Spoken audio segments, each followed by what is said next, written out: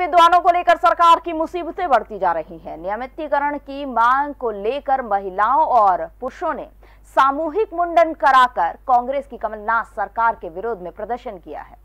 नियमितीकरण की मांग को लेकर भोपाल में अतिथि विद्वानों का प्रदर्शन जारी है। अतिथि विद्वानों ने मुंडन कराकर सरकार के खिलाफ विरोध प्रदर्शन किया। अतिथि विद्वान अपनी मांगों को लेकर लगातार पिचासी दिनों से भोपाल के शहजहानी पार्क में धरना दे रहे हैं। गौरतलब है कि पहले भी सरकार के खिलाफ महिलाओं ने मुंडन कराकर विरोध जताया था।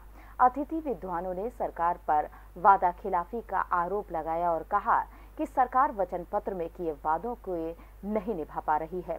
सरकार ने उन्हें नियमित करने का वचन दिया था, जो कि अब तक पूरा नहीं किया गया है।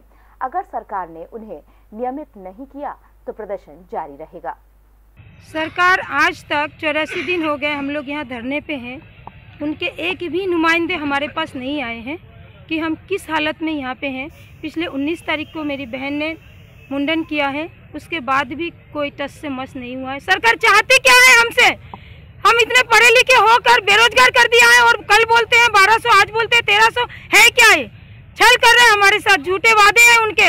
उनका कहना है कि सब अंदर होंगे। सब बाहर तो है, अंदर कैसे होंगे? पिछले तीन महीने से हम यहाँ बाहर हैं और क्या चाहते हैं? बेरोजगार हो गए हम। पढ़ लिख के बेरोजगार।